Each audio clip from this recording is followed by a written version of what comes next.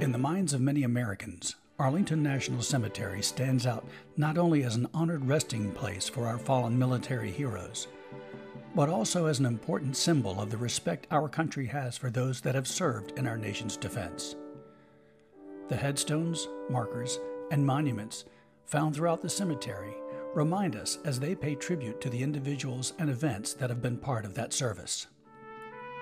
One of the most inspiring things about Arlington National Cemetery is its unique role in representing and memorializing American history.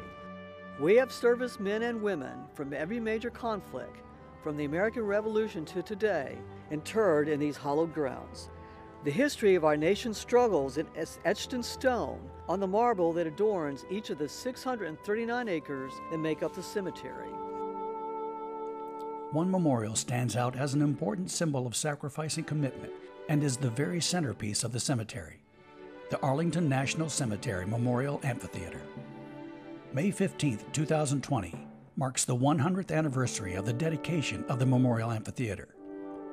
In that 100 years, the amphitheater, like our nation, has experienced change and growth.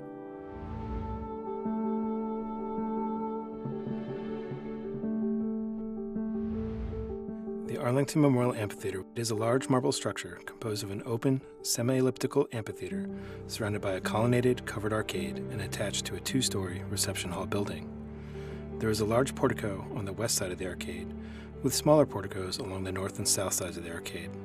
A large, semi oval, two level stage is the focal point of the amphitheater and is attached to the reception hall building at its rear. The amphitheater is placed so that when standing on the stage, the mast of the USS Maine is clearly visible behind the west portico. Arlington Memorial Amphitheater is usually associated with World War I, both because it was completed in 1920, shortly after the war ended, and because of the co-located presence of the Tomb of the Unknown Soldier. However, the origins of the amphitheater lay in the American Civil War, which occurred in 1861 1865. In the immediate aftermath of the war, communities both north and south began the practice of annually decorating the graves of Civil War veterans. The original Decoration Day was held with a speech behind Arlington House, the former home of Robert E. Lee. And soon it was realized that the growing celebrations for Decoration Day would need a venue to host them. In 1873, the first amphitheater was built at Arlington National Cemetery. Now referred to as Tanner Amphitheater, this was a small, simple amphitheater located near Arlington House. The ceremonies quickly outgrew this venue, and in 1908, Congress formed the Arlington Memorial Amphitheater Commission to design and oversee construction of a new, permanent amphitheater. While a simple pastoral amphitheater had fit American ideas of death and honor in the 19th century, a new century and a new world power required something more grand. It was 1913 before Congress authorized construction, and 1915 before money was appropriated, and in October of 1915, a ceremony was held with President Wilson using a ceremonial trowel to symbolically set the cornerstone. Following the cornerstone laying ceremony, construction began immediately and initially progressed rapidly, with an intended completion date of February of 1917. However, delays of various causes ensued as construction progressed. One of the main issues was with obtaining an adequate supply of marble. With the building almost entirely clad with marble, this imposed inevitable delays on overall construction. Other delays were imposed by changes in the plans for the building. There were significant delays due to weather. More significantly, as the work stretched on, the U.S. was drawn inexorably into the First World War. This resulted in severe labor shortages as well as wartime restrictions on transportation that made moving material to the site difficult. By spring 1920, the amphitheater was complete and ready to be dedicated. The date of May 15th was selected for the ceremony grand parade proceeded from the National Mall across the 17th Street Bridge and into the cemetery. Following the parade, a ceremony was held in the amphitheater with speeches delivered by the Secretaries of War and the Navy, the leaders of the Grand Army of the Republic and the United Spanish War veterans, and by General Peyton C. March, Chief of Staff, United States Army. While the amphitheater was dedicated in 1920, the world and the United States had changed since construction had begun. While the most obvious World War influence was the decision to add a tomb of the unknown soldier to the Eastern Plaza, barely a year following the dedication, there was not enough time to design a proper tomb before the funeral ceremony. The unknown was therefore initially buried under a very simple tomb set near the stairs of the Eastern Plaza. The tomb was completed and unveiled without ceremony in 1932. The tomb of the unknown soldier is guarded continuously by troops from the 3rd Infantry Regiment, the Old Guard. The Memorial Amphitheater is popular with both American and international tourists and is the site of frequent wreath laying ceremonies as well as larger ceremonies, including especially those held each year on Memorial Day and Veterans Day. Once primarily a site of remembrance associated with the specific wars engraved on its arcade, the amphitheater and the adjacent tomb have come to commemorate all U.S. conflicts. While cast in marble and designed to be permanent, Arlington Memorial Amphitheater has changed along with America in the way we honor our war dead. As we consider the impressive architecture of the Memorial Amphitheater and what it represents, we can appreciate the inspiration that led to its creation and how a desire to honor our veterans grew from the humble beginnings of Tanner Amphitheater to the iconic structure of the Arlington National Cemetery Memorial Amphitheater. Tanner Amphitheater was constructed of brick and wood and a little bit of cast iron. By the time the idea of creating a bigger amphitheater came around, the country was establishing itself and thinking of itself as a major world power. The country wanted to build a bigger, grander amphitheater, and that's what we have here, the marble and steel Beaux-Arts structure. This Beaux-Arts style was very popular at the turn of the last century. Its precedents, of course, are the Greek and Roman Republic buildings. Thomas Hastings was the architect for this structure. This was his masterwork, and it really has held up well over time. Every decade, the structure gets some major change. The first big change here was the placement of the Tomb of the Unknown in 1921, and following soon after that was the design of the grand staircase that comes up from the lower level of the cemetery up to the Tomb of the Unknown as we know it today. The big, big change that came in the early 1970s was the plaza elevated along the east front of the reception building, and that was brought up so visitors here could better see the changing of the guard and better see the Tomb of the Unknowns. Millions of people come here every year, and that can wear out a structure. It's hard to keep up with a gentle maintenance practice. We are now in the midst of conserving all the doors on the building. These are very thick doors with wonderful hardware, all original.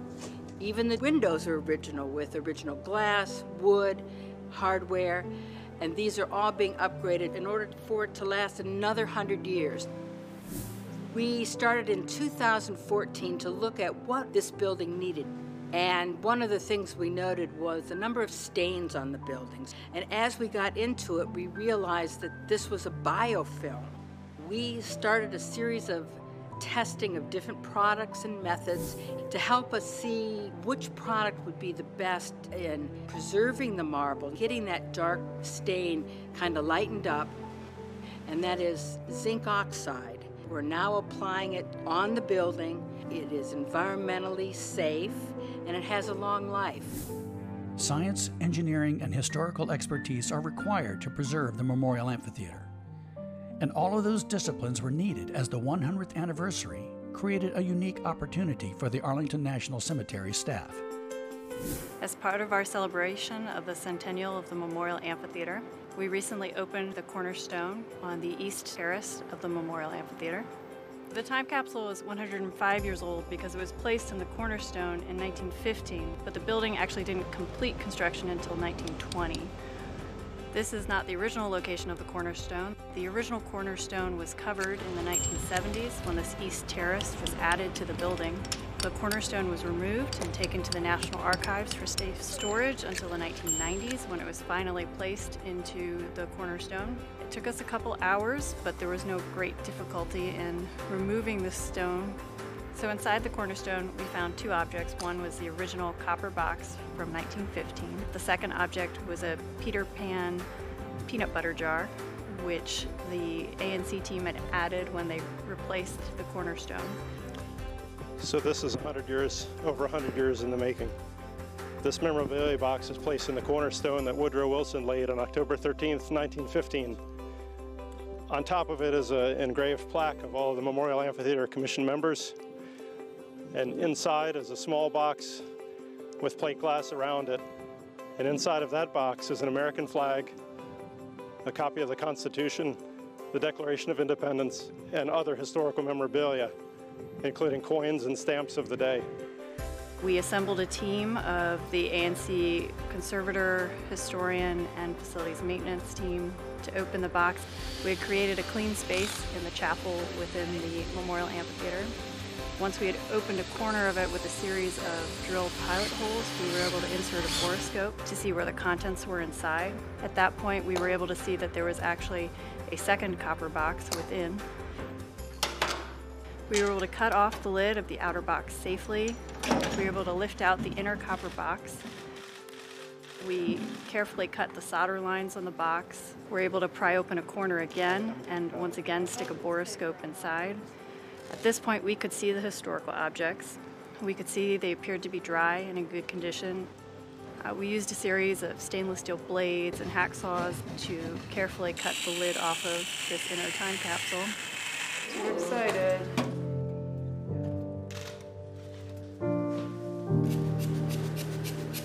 It was very exciting to open the time capsule to see things that had not been seen for 105 years. Let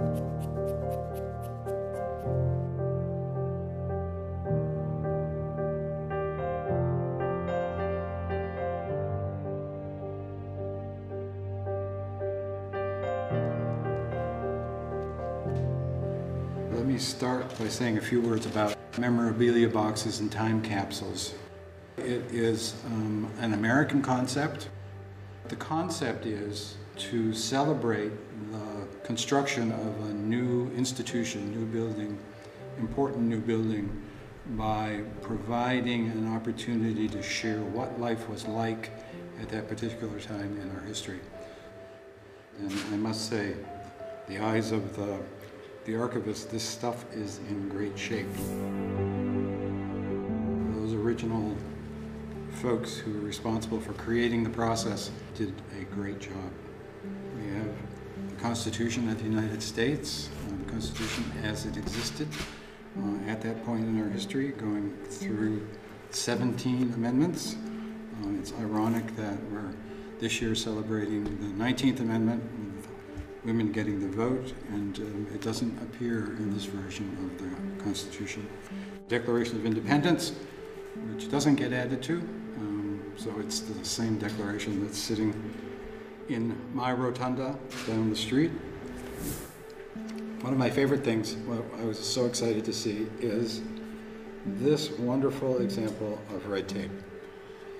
All of the records in the National Archives, when they were um, moved into that building, were carefully protected with, with wrappings that were held together with this red tape.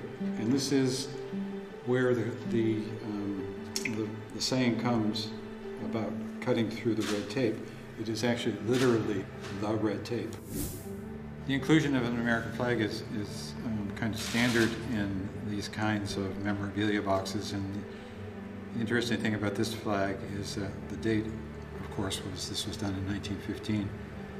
And the flag here has 46 stars when there are actually 48 states 1915.